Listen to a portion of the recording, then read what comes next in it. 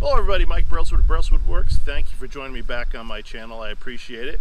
Today I've been gifted a medium-sized walnut tree that I'm going to cut down right now. The tree died and uh, this past year and so I got gifted the wood. Um, so this goes on to let people know that if you are gifted things like this and you are not familiar with cutting, get somebody who knows how to cut and cut it down for you. I've uh, owned a tree business uh, for many years and I've cut a lot of trees, so I've got plenty of experience. But if you do not know what you're doing, there's so many variables that can go wrong when you're cutting down to trees. Please get someone who knows what they're doing. And with that, let's take this down.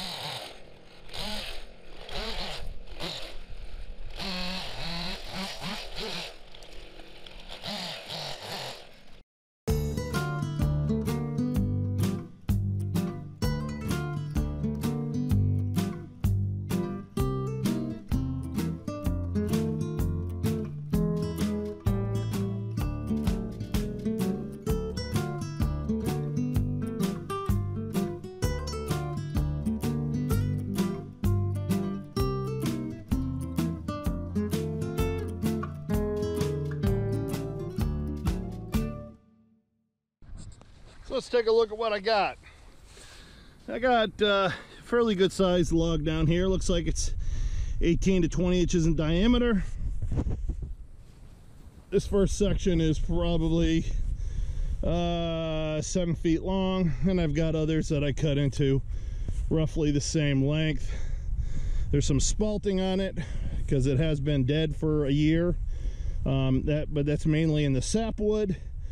But uh, yeah, I've got a lot to work with here. And he also has some other logs that he had cut down from a tree that had fallen before that he had cut up. And those are, uh, those still are great. They're nice and solid. And I'm going to take those as well. So I'm going to go get these loaded up and uh, take them on home.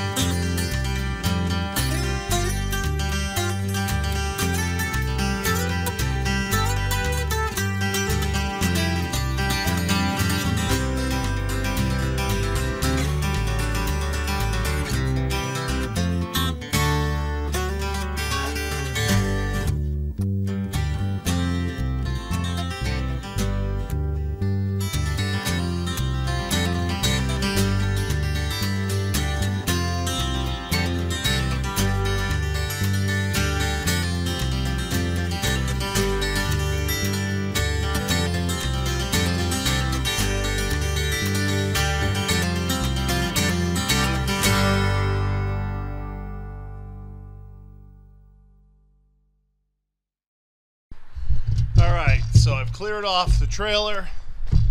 Let me show you what I've gotten.